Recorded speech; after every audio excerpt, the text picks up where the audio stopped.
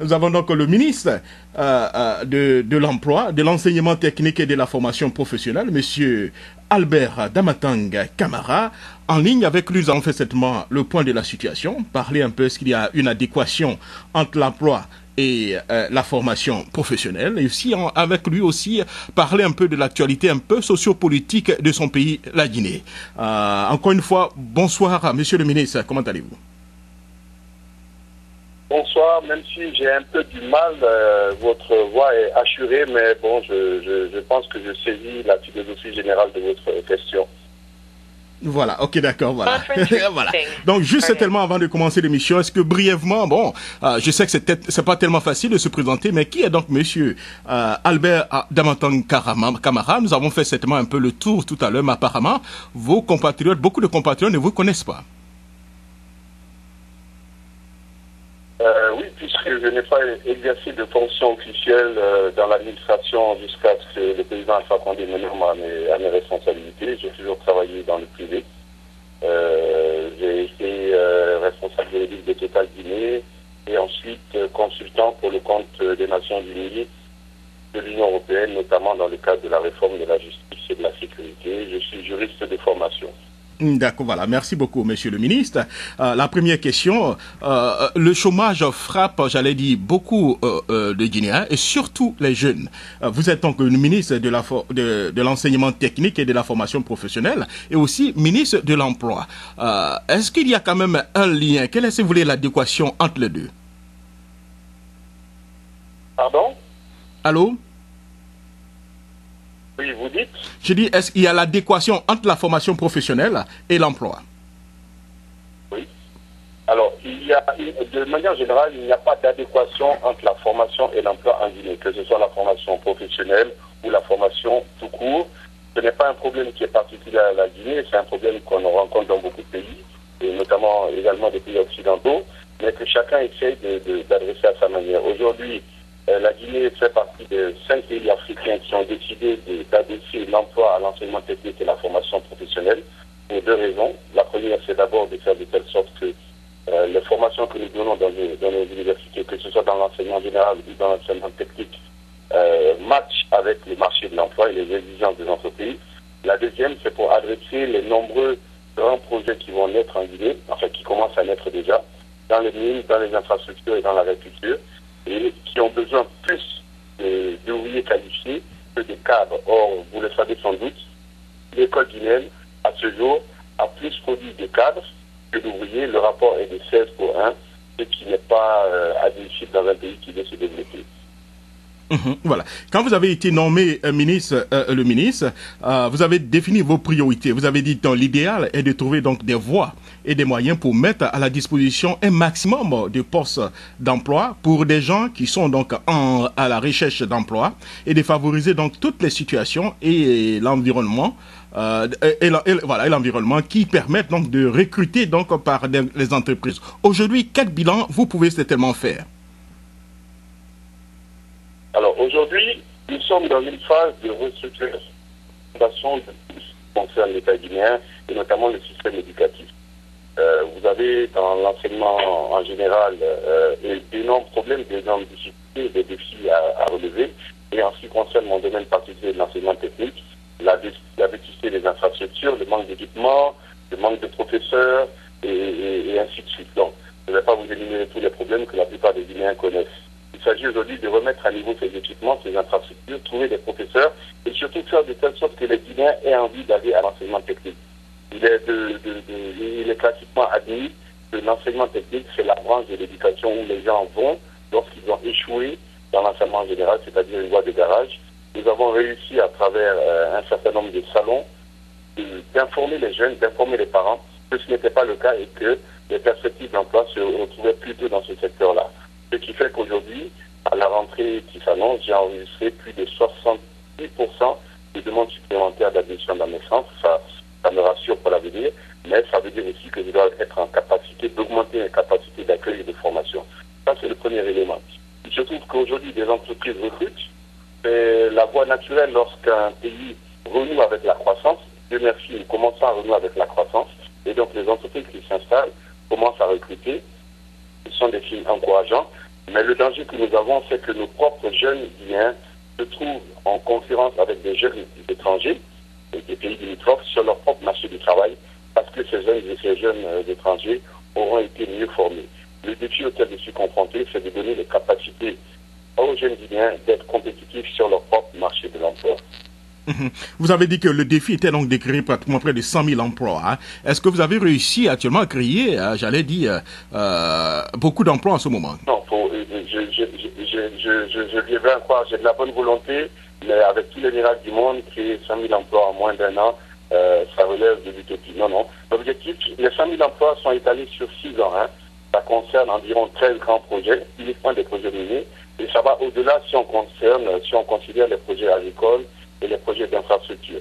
Donc rien qu'effectivement dans le secteur minier, il y a environ 100 000 emplois qui sont à créer dans les 6 ans euh, qui viennent. Donc euh, ça commence petit à petit. Je commence à recevoir des statistiques de certaines entreprises qui ont commencé à recruter mais qui sont aussi en train de demander des compétences étrangères, et ça c'est un peu plus inquiétant. Mais grâce à Dieu, nous sommes en train de nouer un partenariat public-privé qui fait que les entreprises minières, dans les zones où elles, euh, elles, évoluent, vont favoriser, vont accompagner, vont même construire des centres de formation, vont permettre d'embaucher sur place les jeunes issus des communautés dans lesquelles elles évoluent. Donc ça, c'est un, un signe encourageant. Ça veut dire que nous, nous tirons tous dans le même sens. Et à côté de ça, euh, je peux vous annoncer par exemple que grâce à la coopération saoudienne, nous allons créer euh, six écoles régionales des arts et métiers. Donc toutes ces choses vont nous permettre d'augmenter nos capacités de formation et de faire de telle sorte que les jeunes Guinéens soient euh, enfin compétitifs au niveau. Les États généraux de l'éducation étaient donc, si vous voulez, une promesse électorale du professeur Alpha Condé. Hein. Est-ce que vous avez réussi d'abord tellement à créer ces États généraux? Et quel est le point que vous pouvez faire? On parle de l'introduction, encore si vous voulez, la, des langues étrangères dans l'éducation. J'aimerais certainement avoir votre point de vue par rapport à ça.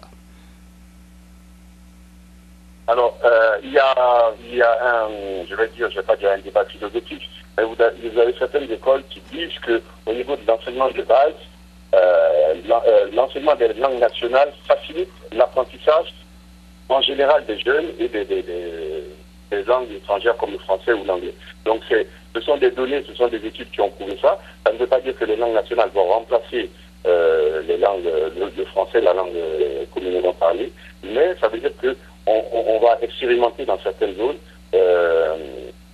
l'apprentissage des langues nationales pour permettre d'avoir plus de facilité dans l'apprentissage des différents cursus pédagogiques. Ça concerne le ministère de l'alphabétisation. J'avoue que je ne, je ne, maîtrise pas trop ce sujet. Je voudrais juste dire à propos des États généraux de l'éducation qu'ils ont, ils ont, ils ont concerné l'enseignement préuniversitaire, l'enseignement général. En ce qui me concerne, j'avais organisé une table ronde euh, en début d'année, euh, au cours de laquelle le président de la République a déclaré que l'enseignement technique devenait la deuxième priorité euh, du système éducatif, justement pour faire face à tous ces problèmes de développement euh, auxquels la Guinée va être confrontée.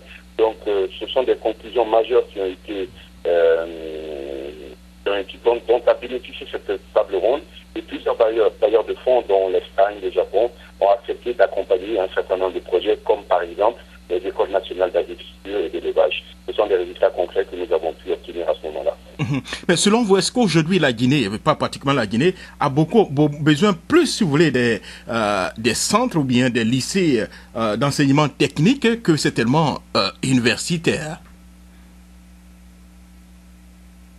Pardon, pardon? Je demande, est-ce que vous pensez que la Guinée a besoin plus des enseignants, de, des écoles professionnelles que c'est tellement, j'allais dire, des universités ou bien des grandes écoles hein? Alors nous avons ce paradoxe qui fait que nous avons énormément d'écoles privées. Euh, au niveau de l'enseignement technique en général, alors je, ne sais pas si je réponds exactement à votre question parce que je ne l'ai pas perçu. Là, je pense que vous allez trouver des éléments de réponse dans ce que je vais vous dire. Au niveau de l'enseignement technique, nous avons une centaine d'établissements et euh, environ une cinquantaine qui sont des établissements publics, c'est-à-dire gérés par l'État. Les autres sont gérés par des privés. Vous avez une proportion différente dans l'enseignement général, mais il est évident que vous avez beaucoup d'écoles privées qui ne répondent pas aux normes et c'est devenu euh, une sorte de business où les, les, créateurs d'écoles rentrent plutôt dans une logique commerciale qu'une euh, éducative ou pédagogique. Il nous appartient de mettre de l'ordre dans tout ça. En ce qui concerne l'enseignement technique, la plupart des écoles techniques sont dans un état vraiment euh, lamentable. Ils méritent tout un un, reprofilage de la reconstruction de l'entretien, ce qui fait que au niveau infrastructurel, nous sommes vraiment en retard par rapport à beaucoup de pays de la sous-région. Et je suppose que ce n'est pas une, une surprise qui fait l'état dans lequel nous avons de ce pays. Mhm, d'accord. Avant certainement de vous parler, de poser au moins quelques, questions concernant certainement l'actualité sociopolitique, je vais aller du côté du docteur Mouketou depuis Paris, qui est donc enseignant. Docteur Mouketou, par rapport, si vous voulez, à l'éducation, par rapport certainement à, à, j'allais dire, à la formation professionnelle, vous, vous êtes enseignant. Est-ce que vous avez euh, une question pour, euh, une ou deux questions pour euh, euh, Monsieur Camara depuis donc Conakry? Oui, bonjour, euh, Monsieur le ministre Albert euh, Damatang Camara. Alors, effectivement, euh, je voudrais vous poser euh, une question d'abord en rapport avec l'éducation nationale. Euh, quelle est votre stratégie euh, politique en matière d'éducation nationale? Euh, Je m'explique. Est-ce que vous avez une politique qui permet, par exemple, aujourd'hui, aux enseignants guinéens euh, de- du primaire, du secondaire, de universitaire, si vous voulez, de travailler, par exemple, dans des bonnes conditions euh, je vais parler par exemple des conditions de travail au niveau des infrastructures, euh, au niveau des salaires, depuis l'arrivée du président de, de- la République qui a fait des études, je précise bien ici en France, qui a été par exemple syndicaliste. Est-ce qu'il y a une liberté par exemple dans le même sens, toujours dans le domaine d'édu- d'éducation Est-ce qu'il y a une liberté syndicale? Est-ce que les enseignants s'expriment librement au niveau de, euh, le- du syndicat? Ça, c'est ma première question. Je, vous poserai la deuxième question après. Alors, je vais répondre directement à la première, à, la question sur la liberté syndicale et je reviendrai un peu aux conditions de travail des, des enseignants. Je vais vous donner un exemple très simple. Euh, vous avez, peut-être que vous êtes au courant, les résultats de cette année au bac ont été catastrophiques en Guinée. Ils ont vraiment donné une image euh, euh, euh, inquiétante du niveau de l'éducation en Guinée. Avant de publier ces résultats, le ministre de l'enseignement préuniversitaire a pris le soin de s'entretenir avec les syndicats, avec l'association des parents d'élèves, pour leur expliquer de quoi ils retournaient, quels allaient être les résultats, et leur demander de l'accompagner dans cette épreuve qui était difficile pour tout le monde, aussi bien en État que pour les élèves et les parents d'élèves. Ça s'est fait dans la plus grande responsabilité. Les syndicats ont, compris l'enjeu et ils nous ont accompagnés. C'est un des traits majeurs de ce que nous essayons de faire, associer un maximum d'acteurs sociaux, d'acteurs syndicaux, et décisions que nous prenons, parce que justement, nous souhaitons que nous allions tous ensemble, ça a été notre slogan de campagne, vers un certain nombre d'objectifs.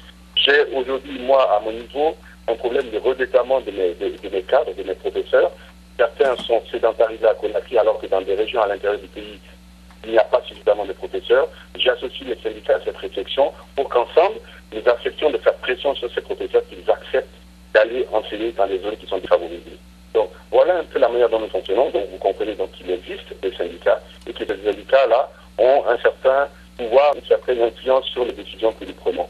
Pour les conditions de travail, euh, je suis tombé sur l'émission au moment où quelqu'un parlait effectivement du salaire euh, euh, misérable. Je, je, il n'a pas de prononcer le nom, mais moi je le prononce à sa place. Misérable dans lesquels végètent les fonctionnaires guinéens. C'est vrai également pour les enseignants, même si des efforts avaient été faits en leur époque, mais nous sommes soumis à un programme draconien des institutions de Bretton Woods qui nous empêche de- de- de- un certain nombre d'actions, notamment en termes de dépenses. Euh, nous sommes parfaitement conscients qu'il n'est pas possible pour quelqu'un de vivre avec ce qu'il reçoit aujourd'hui, mais la solution, c'est de trouver des mesures périphériques qui permettraient d'améliorer le quotidien en attendant que nous soyons en mesure d'augmenter ce salaire-là et de donner un niveau de vie décent. Ce qui est vrai pour les enseignants est vrai pour les magistrats. Un magistrat guinéen touche à peine 100 dollars. Euh, vous vous rendez compte à quel point cela est dérisoire et qu'il est difficile de demander à une personne placée dans ces conditions d'être parfaitement honnête. Nous en sommes conscients. Euh, et ce n'est pas une solution de dire que ce n'est pas notre faute que nous avons trouvé ça. Nous recherchons des solutions. Ce n'est pas évident, mais je pense qu'avec un peu de bonne volonté et avec des solutions euh, périphériques, nous pourrons au moins permettre aux Guinéens de patienter jusqu'à ce que nous soyons en mesure de mettre tout le monde dans les bonnes conditions. Et je signale que nous, les ministres, nous sommes logés à la même enseigne. Voilà, je pense que le docteur Mouketou reviendra certainement. Euh, docteur, est-ce que vous avez une autre question par rapport certainement à, à l'éducation hein? Oui, euh, euh, vous, est-ce que vous me permettez de, ou bien vous voulez qu'on reste d'abord dans le domaine de l'éducation dans le domaine de l'éducation. avec- Voilà, dans le domaine. Dans- en- par rapport à l'éducation euh, euh, euh, nationale, monsieur le ministre, je ne vous ai pas saisi. Je souhaiterais que vous soyez clair parce qu'il y a beaucoup d'auditeurs qui vous écoutent en ce moment dans le monde. Je vous ai posé une question. Est-ce que les enseignants guinéens, ont, depuis que vous êtes arrivé au, au pouvoir, travaillent dans les bonnes conditions? Quelle est la différence entre la politique éducative de vos prédécesseurs et la vôtre en ce moment. Est-ce qu'il y a une différence Concrètement, est-ce que vous pourriez nous présenter des exemples euh, sur le plan infrastructure au niveau des salaires? Est-ce qu'il y a eu évolution des salaires? Est-ce qu'il y a une nouvelle politique? Parce que nous avons un universitaire, n'oublions pas que c'est un universitaire africain qui a, qui a la tête de la Guinée. Est-ce qu'il y a des changements? Je voudrais que vous soyez concret, s'il vous plaît, monsieur le ministre. Ah non, non mais je, alors je vais être clair avec vous. Non, il n'y a pour le moment pas de changement parce que nous sommes soumis à un programme qui nous empêche d'initier un certain nombre d'actions sociales. Sinon, nous sortons de ce programme-là.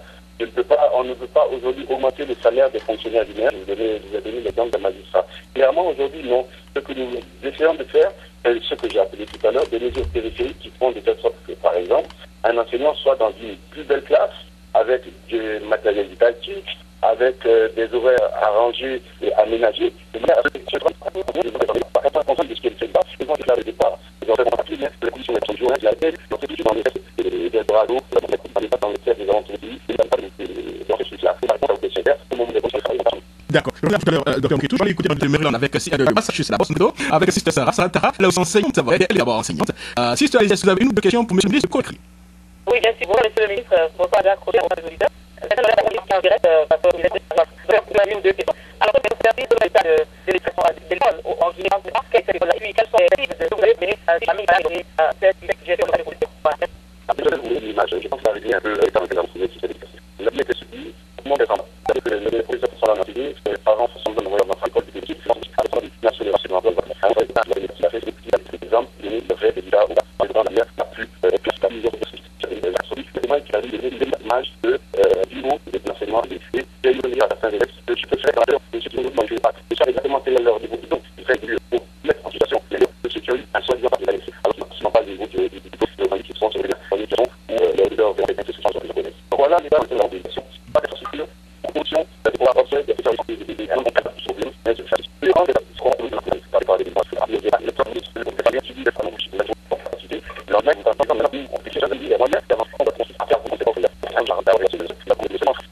de la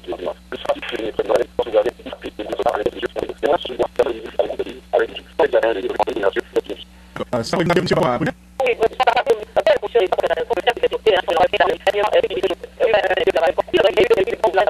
Après, il y a des beaucoup sur vais dire. Il que c'est des la tête. Alors, vous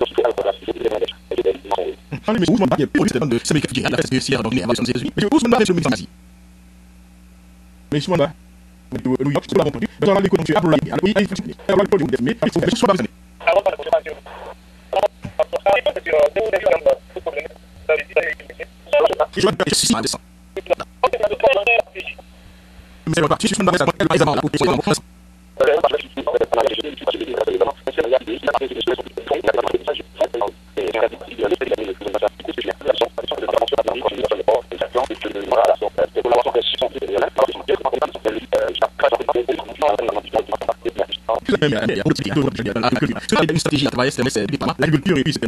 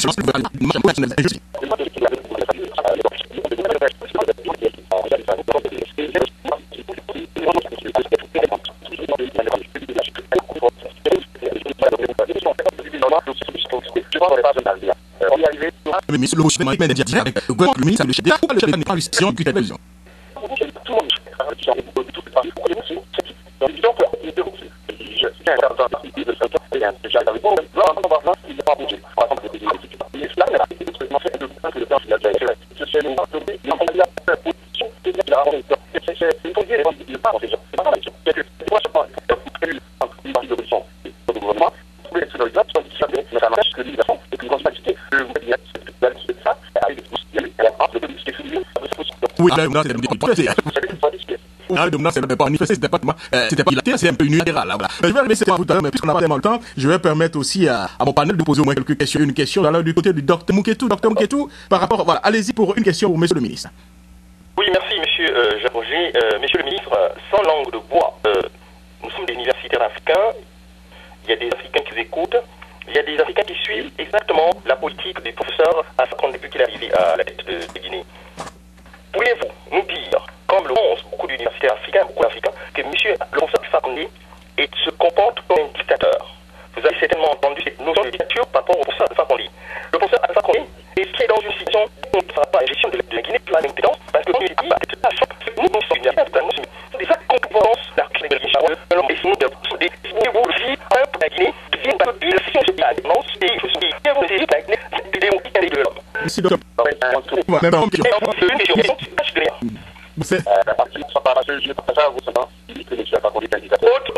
autrement dit, monsieur le ministre. Docteur Mouketou, permettez, permettez, monsieur le ministre. Je ne partage pas votre idée de dire que le président Alpha Condé est un dictateur. Peut-être qu'on ne vit pas dans le même pays, peut-être que vous n'avez pas accès aux mêmes informations que moi. Je ne vois pas quel acte de dictature qui a été posé depuis que le président Alpha Condé est président. Euh, je suis désolé de ne pas partager cette vision, la même vision que vous. Nous ne voyons peut-être pas les choses de la même manière et c'est un dommage. Enfin, bon, c'est la loi de la contradiction. Et quand on parlait de bilan politique, le bilan politique ne peut pas être puisque nous ne sommes pas sortis de la transition. Et justement, nous attendons l'initiative pour sortir de la transition et je vous serais reconnaissant de nous accorder un minimum de temps pour tirer un bilan politique. D'accord. Merci. Nous allons du côté de Sister Sarah. Sister Sarah, allez-y. Oui, merci, M. Jacques. Alors, monsieur le ministre, moi j'ai un problème sérieux à le professeur. C'est ça que les populations n'aient pas de l'électricité et c'est pas dans le dollar. Alors,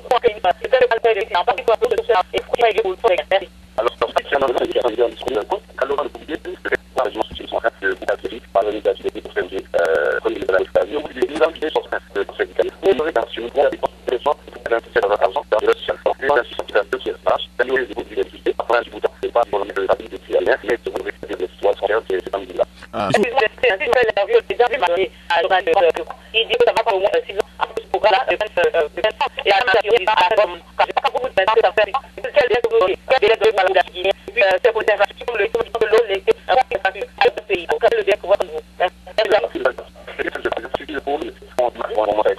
Je vous apprends en disant que je ne suis pas des gens qui sont pas des gens qui sont pas des gens qui sont pas des gens qui sont pas des gens là, ça se sont répondus, c'est tout le monde, je ne sais pas, moi, je vais les aider, à chaque fois, à lui, ça va pas aller, mais il faudra quand même, il y a des gens qui sont pas des gens qui sont pas des gens qui voilà, j'ai compris que le ministre, le ministre de l'Emploi, c'est une formation professionnelle. Donc, il parle de pour de l'information, il peut se tennis aussi en tant que guerre. Euh, pour question.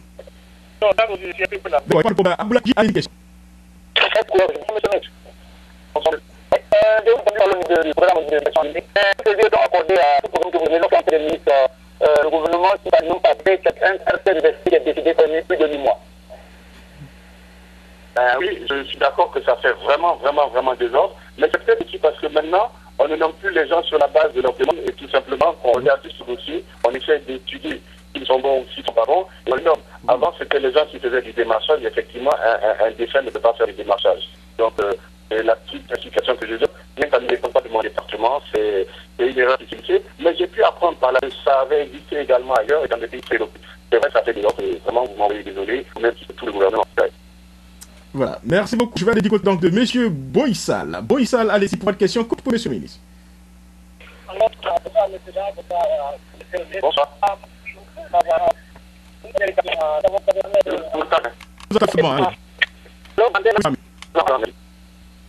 Monsieur, monsieur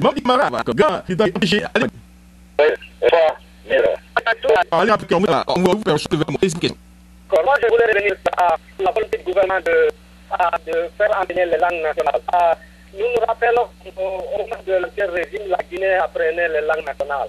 Euh, je vais demander à M. le ministre, est-ce qu'il était d'accord avec cette politique de langue nationale et quelle est la différence entre la politique qui existait avant, s'il veut se rappeler, celle d'aujourd'hui? Parce que moi, je n'arrive pas à comprendre à la base de, cette politique de, la République de langue nationale Guinée.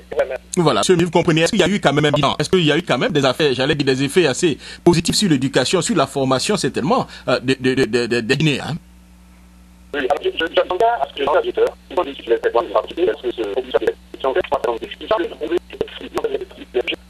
que analyse. Après, effort, l'image de que analyse. Allez, je vais dire parce que, c'est une discussion de, analyse, c'est vraiment, c'est le qui aussi, sur les et à une dire, qu'est-ce pas pas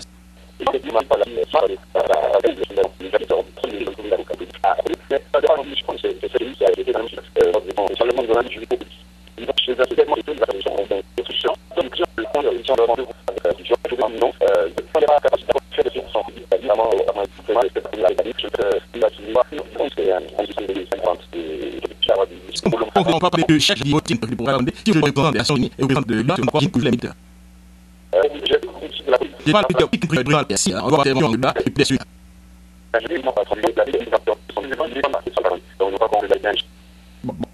faites tout ça partie simplement tous les deux, la politique générale, d'accord. Je comprends tout, mais je prends d'abord une option d'organisation. Mohamed Barry, Barry, allez, question. Oui, bonsoir, bonsoir tout le monde bonsoir au ministre. C'est vraiment bien d'entendre un ministre vraiment qui savent et qui une information Ma question, c'est de savoir au niveau de, euh, des petites écoles qui sont dans le pays, des petites cités, on a des écoles, euh, écoles Bali, écoles So, écoles Mouya, écoles scolaires, ces petites écoles, ces petites écoles-là ne sont pas aujourd'hui à sécurité bien. Je suis tout d'accord avec vous. Et vraiment, c'est des écoles qui, en fait, se réduisent en tel et tel des échecs des politiques. Ce n'est pas à dire qu'on continue mais école. Mais qui euh, la cherche, euh, une une école une pays, et personne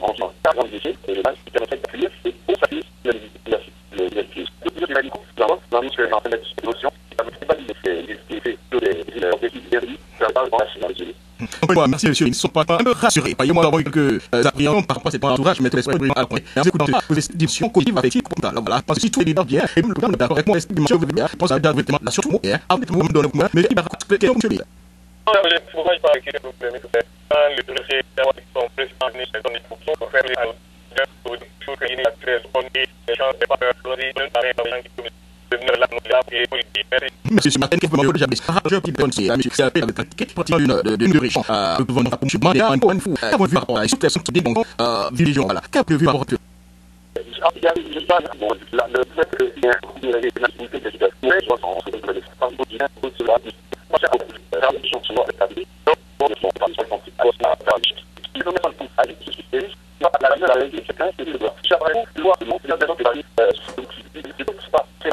à le de qui les les les de les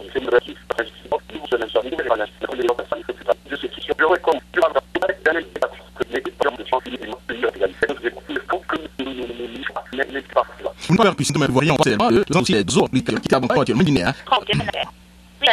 de de avec un prix dans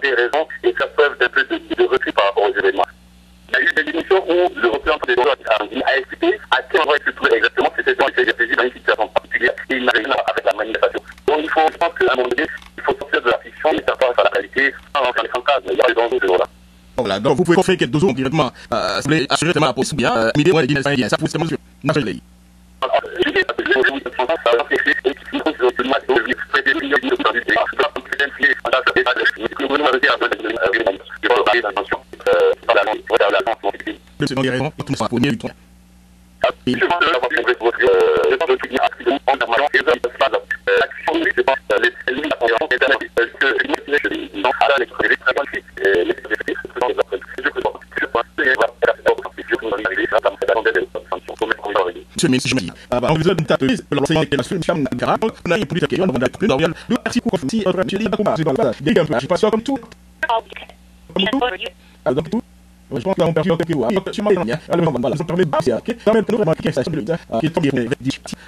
Mais il y a station, mais,